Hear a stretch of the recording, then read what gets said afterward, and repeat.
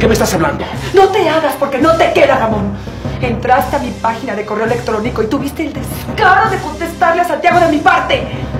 ¿Cómo te atreviste? ¿Te atreves a preguntarme eso? ¿Eh? Claro que sí.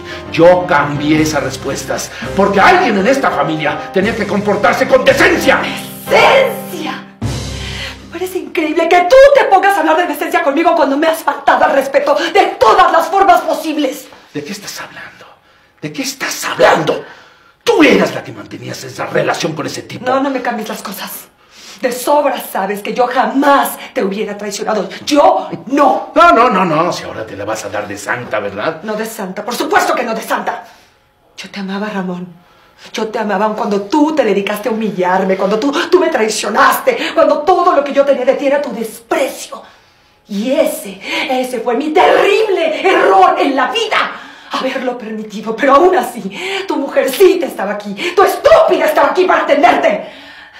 Hasta que encontraste por la computadora ese imbécil, ¿verdad? Y no trates de negarlo, porque también leí tu diario. Lo único que te faltaba para encontrar todas las formas posibles de faltarme al respeto. Pues sí. ¿Y tú qué?